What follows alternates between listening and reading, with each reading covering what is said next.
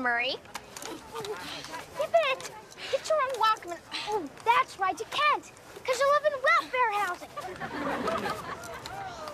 Your family's so poor, you take the trash in.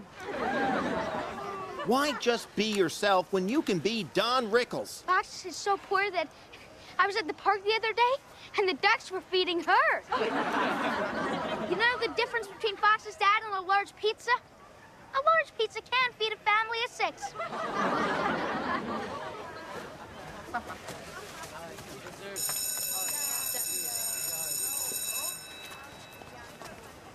No wonder Fox was a bully.